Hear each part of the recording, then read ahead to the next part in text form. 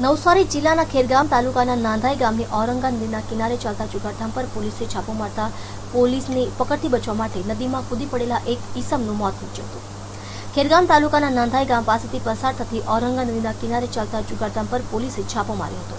જોકે પોલીસની પકડથી બચવા માટે છ જેટલા ઈસમોએ નદીમાં છલાંગ લગાવી દીધી હતી, જેમાં છ પૈકી એક યુવકનું ડૂબી જતા મોત નીપજ્યું હતું.